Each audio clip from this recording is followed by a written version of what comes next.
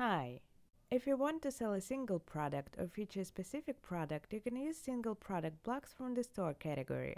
There are several such blocks on Tilda and all of them are set up in a similar way.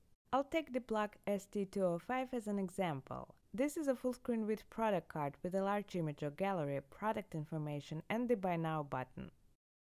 Let's say I'm creating a landing page to sell a backpack. I click the plus sign to open the block library, go to the store category, and select the ST205 block. Then I open the Content tab to add all the required information about the product. Let's type in the name of the product, the Voyager backpack in the title field.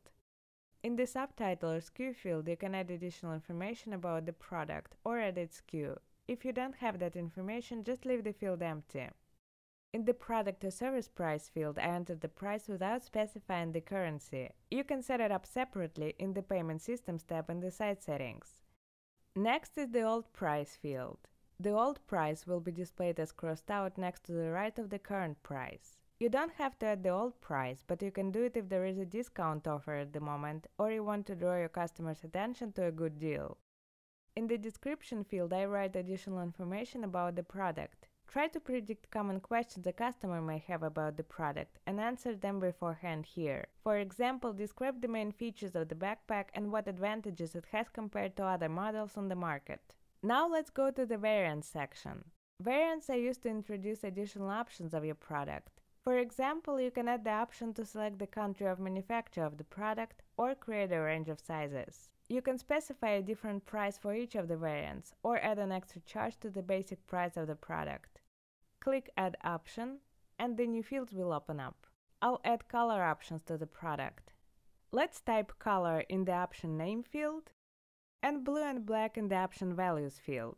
You can set different prices for different variants of the product. To do that, you have to add an equal sign after the option value and specify its price. For example, a blue backpack costs $70 and a black one costs 80. Note that you can only change the current price for the product's options. The previous price is specified in the old price field once and cannot be changed. Click on Read More to learn more about the option settings. For example, you can add an extra charge to the basic price instead of replacing it. Let's add another option. I'll type extra laptop compartment in the second option name field and specify two values in the second option values field. No laptop compartment, one laptop compartment for the extra $15. Note that you can create up to three options. Let's click on Save and Close button and check the changes. Then I go back to the Content tab of the block to look at other fields. In the button title field, I write the caption I want to see on the button. As for the button action field, I can choose either the add to cart value, so the product will be added to the cart by clicking on the button, or the link value, to specify a separate link to any other page, you can add one or more images of the product by clicking on the Upload Files button. Let's do it. I delete the images added by default, click the Upload Files button, and upload the files I've prepared beforehand. The last field in this tab is the product ID in the catalog field. I'll get back to this setting in a bit.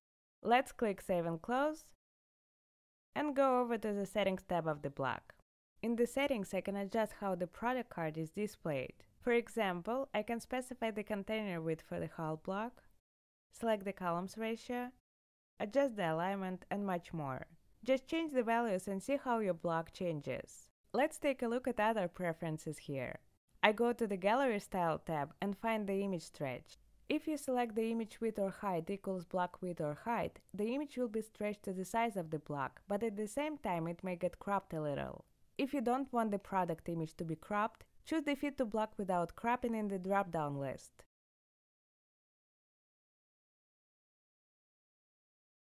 In the slides autoplay interval field, you can adjust the preferred time period between the slide switching. Note that the value is specified in milliseconds. That means that 1 second is equal to a value of 1000. If you want the user to be able to see fine details of your product, check the zoom image and hover box.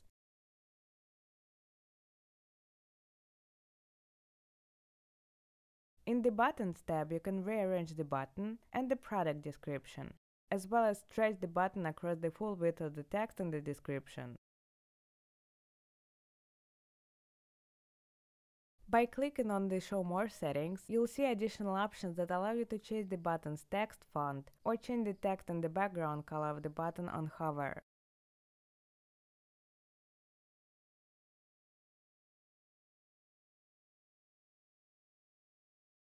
In the Typography tab, you can change the size, type and color of the text in the whole block. Now let's go back to the product ID in the catalog field in the Content tab and look at how to connect a single product block to the catalog. First off, why you may need to connect the catalog. Connecting a product with the catalog allows you to do many things, like easily adjust the product price and change its variants and additional options via the catalog. That means you don't need to go to the editor of the product page to do it. Each product in the catalog has its own unique ID, I have to edit in this field to connect the product from the catalog to my block. You can find the product ID in the settings of this product card in the catalog. Now let's go over to the catalog. If you have a catalog created already, you'll find the Products tab in the dashboard of your project. If you don't have a catalog yet, you have to create it. To do that, either click the Product Catalog button in the Blocks Content tab, or open the Site Settings, then More tab, here scroll all the way down and under Built-in Services, click Connect Product Catalog and you'll see the catalog features. By default, there are a few product cards in the catalog. Let's delete them to create one from scratch.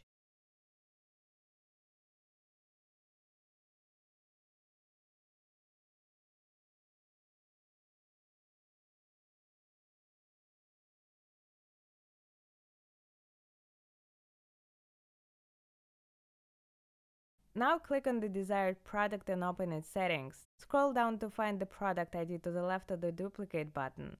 Note that you need the number after the colon. Select the number and copy it. Sometimes users copy the product external ID instead of the product ID, but it's not the ID you need. After copying the product ID, let's go back to the page containing the ST205 block that I previously created. To avoid any confusion, let me hide the old block then add an UST205 block and specify the product ID from the catalog here. I paste the copied number in the product ID in the catalog field and save the changes. The pop-up on the green background saying that the product has been successfully connected to the catalog should appear afterwards. If you get a yellow warning instead, please check whether you copied the correct number and make sure you copied it in full. As you can see, after adding the product ID from the catalog to the block, some of the data have changed and some haven't. For example, the image is the same, but the product price is different. Note that the following preferences are currently synced. Old and new price, variants without images, and additional options. The following preferences aren't synced and have to be specified in the ST205 block. Title, description, and images. As I've shown before, they should be uploaded in the Content tab of the block separately. So now let me manually change the required fields like title, description, the text of the CTA button, as well as specify the action that follows clicking on the button, and upload the correct images.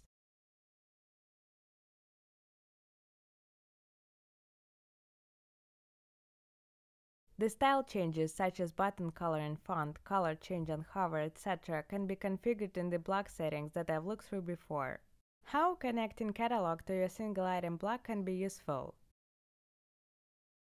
The quantity option in the catalog allows keeping track of items in stock up to date automatically, so you don't end up with understocking.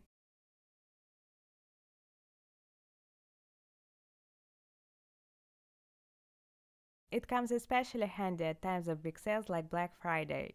You can find a detailed guide on how to set up and use the product catalog in the Tilda Help Center. The link will be in the video description. Thanks for watching and good luck with creating wonderful websites. Bye!